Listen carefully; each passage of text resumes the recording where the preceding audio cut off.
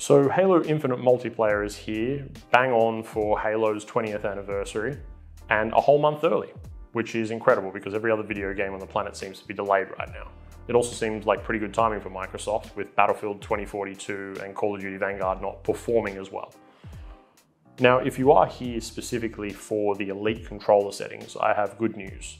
My Warzone video actually covers those exact settings already. They work for just about any first person shooter and I haven't tweaked them at all for Halo. The core settings were actually changing in-game, which is exactly what we're gonna go and do right now. Now, before you go over to the Xbox Accessories app to start tweaking this thing, you're gonna to want to take a look at the settings in Halo Infinite. There are only a couple of key settings that we need to change and it's gonna make everything feel a whole lot more responsive. Let's take a look. All right, so when testing anything out, you wanna go ahead and jump into training mode. Training mode is accessible by going to Academy and then training mode from the main menu. All right, let's just jump into the settings menu now. Uh, we're gonna go ahead and leave uh, everything there on default, especially if you're using the Elite controller. This is a preference thing again, so have a look at your button layouts and see if they work for you, but it looks like uh, Halo has gone for standard Call of Duty controls this time around. At least that's what I call them anyway. Uh, check all that other stuff out yourself, but the defaults are all pretty good for things like auto clamber and maintaining sprint. And let's get into the meat of it. So sensitivity and acceleration.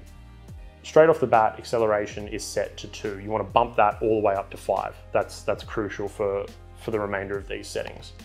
As always, look sensitivity, vertical and horizontal are a matter of personal preference.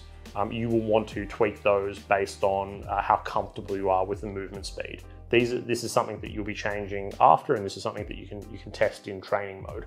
Um, I'm trying it on eight at the moment, and that's only because I'm trying to train myself to compete with these uh, mouse and keyboard players. Now these are the big changes that we're looking at. Right now what we want to do on the movement for the thumbstick is change the center dead zone to zero.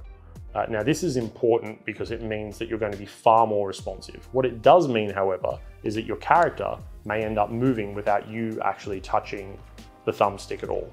So what you're going to want to do is go ahead and tweak that setting until your character no longer moves when you've got your thumbs off the thumbsticks. So I'm gonna go ahead and change this to two, and we'll find that my character is still moving, and then we're gonna go ahead and tweak it further to three, and we'll find that they've stopped completely. Now, it's up to you what you wanna do from here. You can go ahead and leave it on three. Uh, this is for my controller, but I still prefer to leave it on zero. And the reason that I do that is because you're never really stationary in Halo. You're always moving around, and I find that the center dead zone doesn't muck you up that much.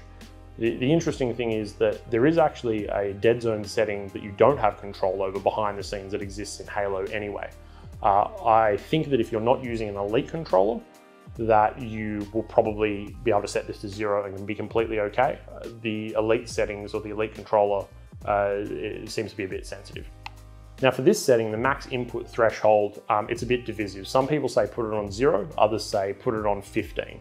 Uh, it says here that the lower value increases the variance in the acceleration curve. Higher value reduces slow turn. Basically what this means is that if I push slightly forward on my movement stick or my left thumbstick, I'm going to move immediately and quicker. Uh, there is a setting that you can actually tweak in the Xbox Accessories app for this controller uh, to change it from default to instant. So you move even further than that. Um, I find that there's not really much point changing that, um, but, but it is there. Anyway, I set it to 15 because for my movement, I want to move as fast as possible. Now this does make you a little bit lungy. You move forward quite quickly, but this game is about always being on the move all the time. it, it is quite, uh, quite fast paced. So setting this to 15 is for me. You may find that zero works for you, but it's just either side. I, I don't muck around with it anywhere in the middle. So if you're somebody who wants to fully reach the guard before you move, then putting on, on a low setting is best. Or somebody who wants to move sooner, then you want to make sure that it's set to a higher value, which is why we have it set to 15. Uh, now, the axial dead zone is another one. So the lower value uh, feels more responsive, whereas the higher value reduces drift. If you want it to be a little bit more twitchy, um, setting it to zero is ideal. Things just feel smoother overall. Again, if you are stationary with a zero setting and your um, thumbsticks aren't perfectly aligned, you probably will find that you'll get a little bit of movement when you're not moving. But again, you are always moving. If you have a high axial dead zone, you'll find that movement is more forgiving, meaning that if you're pressing slightly to the left, but intent on going straight, you will move straight. If it's set to a lower value, then you'll need to be far more precise with your movements, but I find overall you'll be more responsive. And if we head down to the look thumbstick, or the right thumbstick in this case, this one here, and I will mention again, the same as uh, Call of Duty and Warzone, I actually have the long thumbstick on there as well. I just find it's a bit more responsive. Uh, we're basically zeroing out everything. So the center dead zone is at zero, the max input threshold here is at zero as well, and the axial dead zone is at zero. This gives you the most responsive feel. Um, if I jump out of these settings now, and I do some slight movements with my left thumbstick, you'll see that my character is, uh, is moving by themselves without me actually touching it in various directions. Um, but that again is just because of the, the, the way that my thumbsticks are. Your Elite controller might be completely different, but I really feel like just setting it to zero for those dead zones is the way to go.